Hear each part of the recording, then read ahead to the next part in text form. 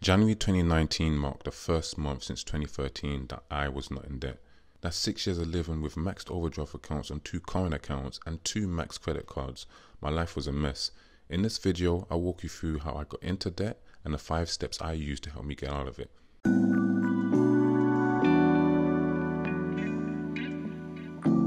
This video, you will learn how I got myself out of £14,000 of debt with interest, and if you are in debt, how you can get yourself out of it too. I'll share the tools and techniques I use to clear my debt in around 9 to 10 months.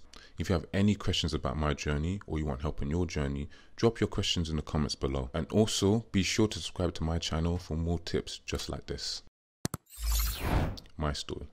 I didn't get into debt for the same reasons the internet makes you feel like everyone else does spending money on things to impress people? No, that wasn't the case for me.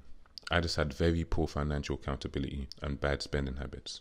I was living beyond my means, did not have a job, did not have a budget, ran away from bank statements, basically kept my head dug in a hole when a new month started. It was really depressing to spend so much time living in debt. You feel ashamed and embarrassed to talk about it, Would people make fun of me for being so broke, you put up a front that you're doing okay, as to not be excluded from social events and hanging out with friends, further pushing you to keep dipping into your debt, taking out new credit cards, and watching as with each new month comes, your debt swallows whatever amount of income you made that month. Basically, every day feels like you're drowning and it seems like there's no way out. The worst thing about all was that I kept quiet about what I was going through, which is one of the biggest mistakes you can make when you have so much debt.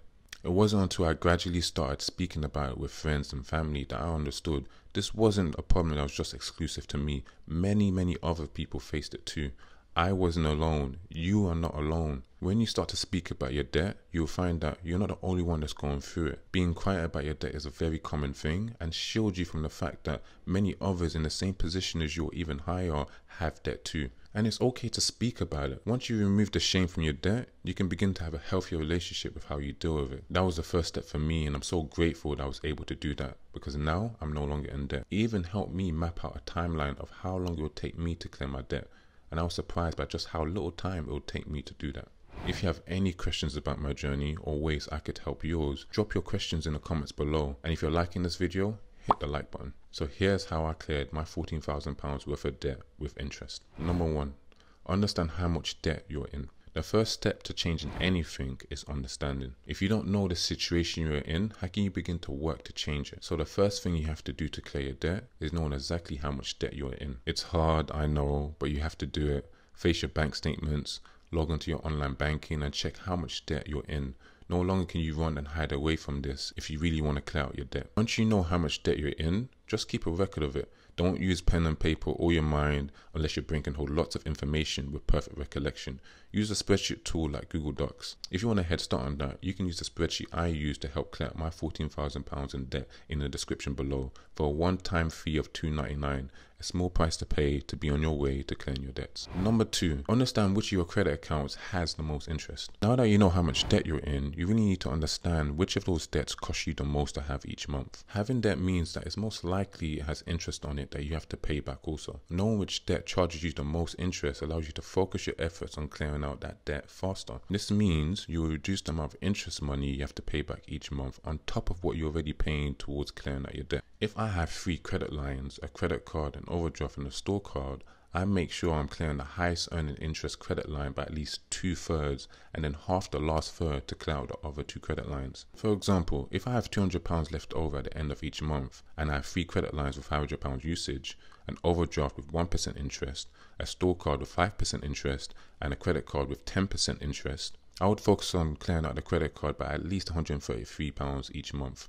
That's two thirds of £200 because over time that will add the most interest on top of the money I already have to clear off. So let's see what that means for my credit lines right now. My overdraft interest per month would be £5 and a total of £505. My store card interest per month would be £25 and a total of £525. And my credit card interest per month would be £50 and a total of £550. You can clearly see the credit card would charge me the most. The other two credit lines I just clear by 33, 33 each because I'll be left with 66, 66 and I just divide that by 2. Let me know in the comments below if you want to go more in depth on that on another video. Number three, don't bother saving while you're in debt. You should turn this into one of your pet peeves. Saving while you're in debt is a fool's game. Think of your debt as an airport one-way and you're on a plane that takes you off to debt freedom. Each time you save money when you're in debt that gains interest, you are extending the runway for your plane to take off to debt freedom. Here's why. Your debt gains interest each month. Saving some of your money means that there is less money left over to clear off your debt that gains interest each month. Interest that eats away at your savings, by the way. If your total amount of savings plus interest is gaining you more money each month than the amount of total debt plus interest on that debt, then you can save because your savings is gaining more money than your debt with interest takes away from it. Otherwise, you clear your debt out first.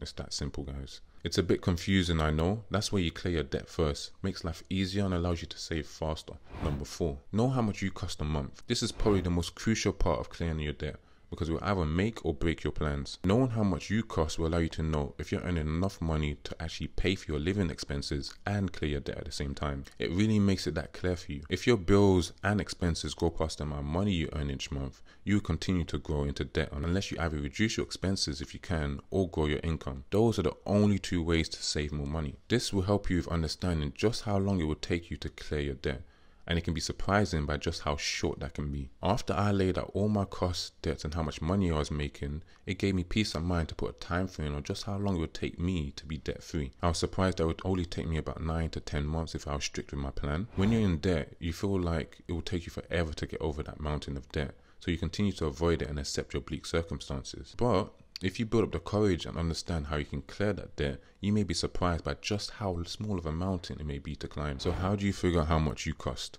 It's very simple actually. All you have to do is find your fixed and variable costs each month. Fixed costs are the things you pay for each month that never change like your phone bill or rent. They're always the same price most times of the year, and sometimes they change, but rarely they do. Variable costs are the things you pay for that fluctuate from month to month. This can be things like buying from Uber Eats or your public transport fare. They're a bit trickier to place an exact figure on, so it's best to work on averages. How much did I spend on food for the last few months, for example? Apps like Monzo and Money Dashboard make it very easy for you to pull these figures out by tagging your transactions and you can use the budget template I use to clear my debt to help you lay these figures out in a spreadsheet. All the tools and apps I've said here will be linked in the description below. The final and fifth step is number five, set up a budgeting plan. This is the best thing you can do for yourself when you're in debt.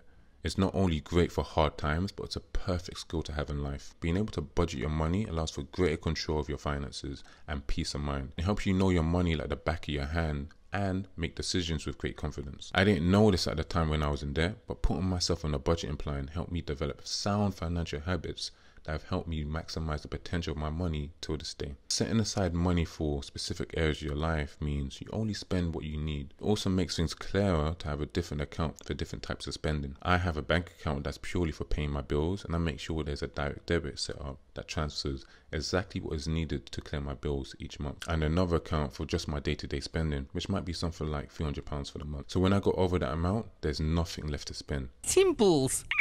Having separate accounts makes it easier for you to track where the money is going. Having all your transactions coming out of one account gets a bit messy after a while. Though banks like Monzo allow you to create pots that section off your money. Pots are like mini bank accounts within one main bank account. Now, none of this works if you don't stick to your plan. If you want to clear out your debt, then be vigilant with your finances. Got too much money going out, then cut off the costs you don't need. You can clear your debt, you just have to be organized about it. So yeah, thanks guys for checking out my video. Once you clear your debt, it opens up limitless possibilities for you. And if you want to stay debt free, I've created a video that has my top three tips for staying debt free, which you can watch right here.